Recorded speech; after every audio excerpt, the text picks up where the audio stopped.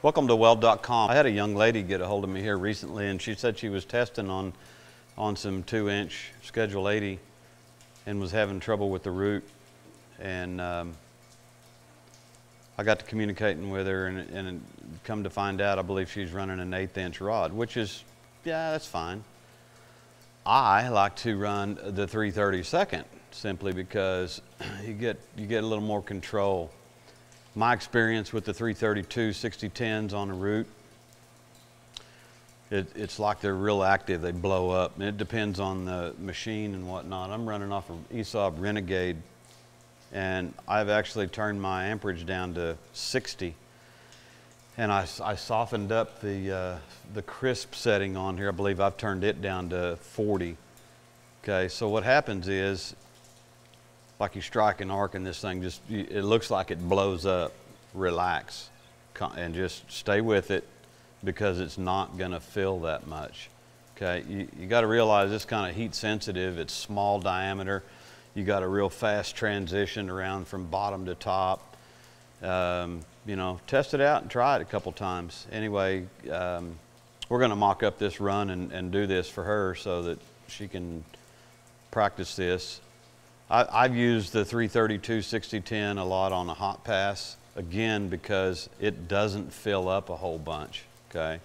So, I, you know, I just like on small bore pipe, especially schedule 42 inch, uh, I like doing that 332 thing.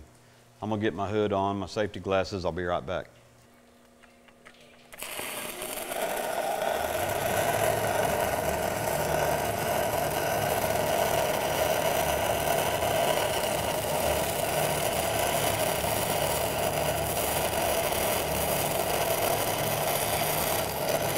Have a very active keyhole around this rod, but I'm not alarmed with it.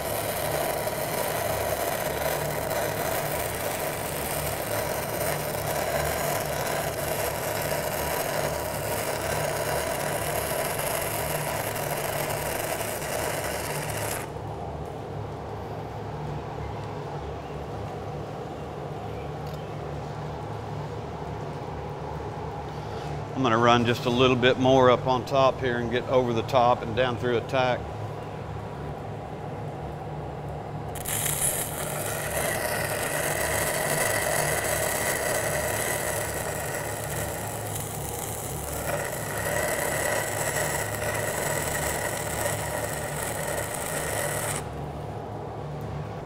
I'm going to go off camera, clean this up a little bit. I'll be right back.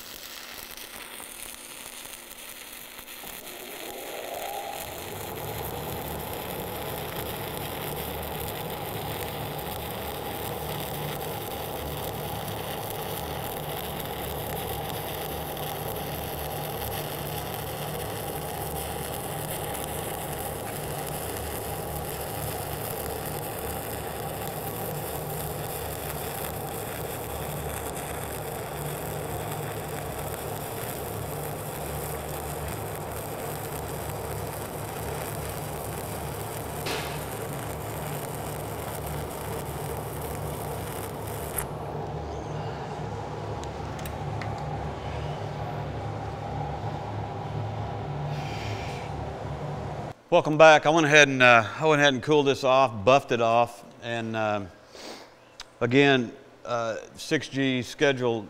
or I'm sorry, two inch schedule 86G.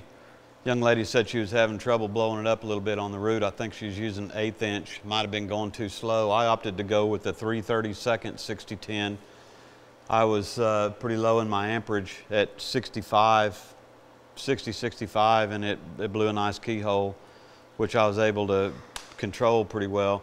And then on the cap, I just went straight to cap. I turned this down to 70 amps. I realize you may think that's a little low, but 70 amps on 7018, 332nd 7018, this part is saturating with heat quickly, okay? If I try to run a, a uh, if I was a little bit fuller, I probably could have got away with, with doing a, uh, a single bead. However, I had a little bit to fill, okay? So now I'm carrying more metal yet. So I, I opted to go 70 amps and do two stringer beads for the cap and I had a little bit of trouble. It's so humid that my lenses are fogging up and I don't like it. So anyway, I was kind of fighting my vision thing.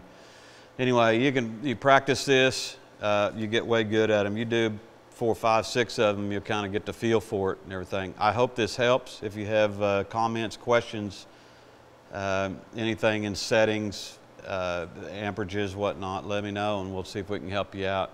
Appreciate you watching. Please subscribe to the videos. Bob Moffett with Weld.com. Thank you.